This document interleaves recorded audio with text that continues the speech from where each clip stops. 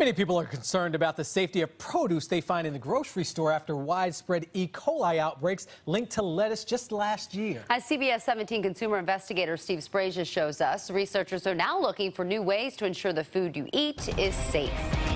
Well, that's what we're looking for there.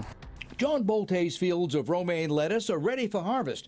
During the winter, farmers in Yuma, Arizona grow more than 80% of all leafy greens consumed here in North America.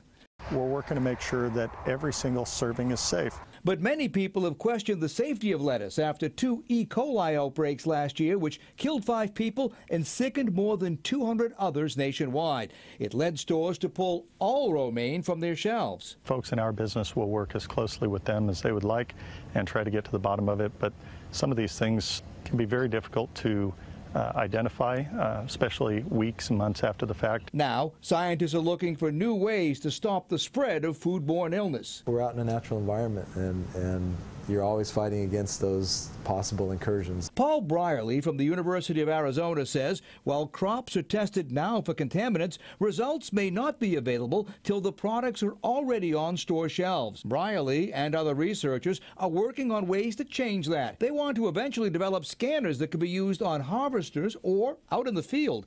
The technology would immediately spot the smallest contamination and allow workers to pull that produce before it ever reaches your food supply you would know right away if there was E. coli or, or, salmonella or something like that. Scientists are also working with farmers to engineer a new breed of crops which would be resistant to disease and drought. The same lettuce that I cut here out of this field, Chris, same thing I'm going to take home and feed to my family. That's why Boelts supports any new ideas which can prevent future outbreaks.